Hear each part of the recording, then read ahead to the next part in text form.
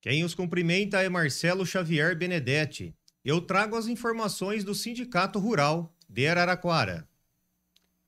A Federação da Agricultura e Pecuária do Estado de São Paulo, a FAESP, está monitorando a situação das quedas de temperaturas e condições climáticas favoráveis à formação de geadas no estado.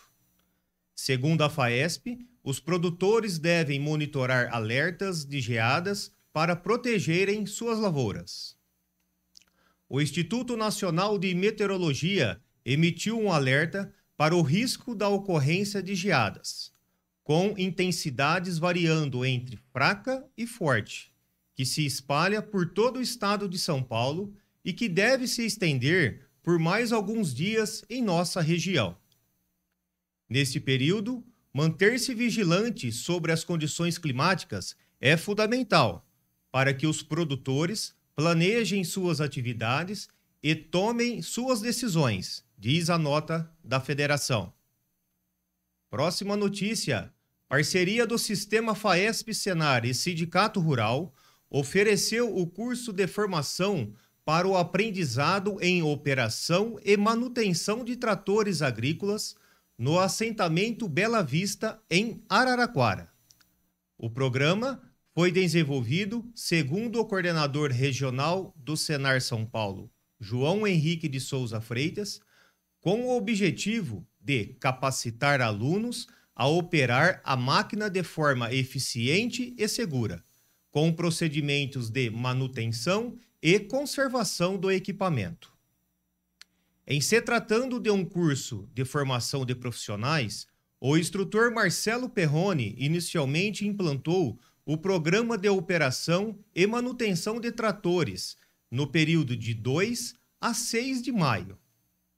No período de 9 a 11 de maio, o instrutor Rui Manuel Souza de Oliveira Marrecas ministrou o curso Operadores de Retroescavadeiras, continuidade do trabalho iniciado por Perrone. O instrutor, entre os dias 12 e 14 de maio, deu aulas para operadores de pá carregadeira e a última etapa do curso de formação foi destinada ao trabalho de capacitação em motoniveladora, entre os dias 16 e 20 de maio, ensinando os procedimentos de terraplanagem em propriedades rurais. Próxima notícia.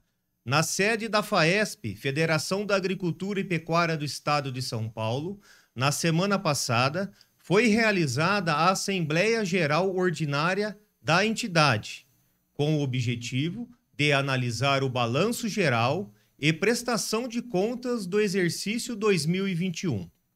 O encontro foi dirigido pelo vice-presidente Eduardo Luiz Bicudo Ferraro.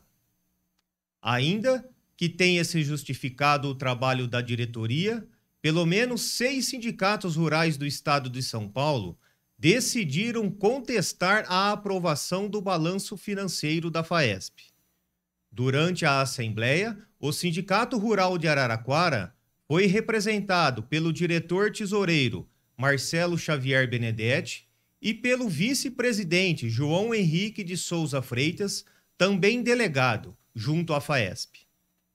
São estas as notícias para hoje. Em breve, voltaremos com novas informações.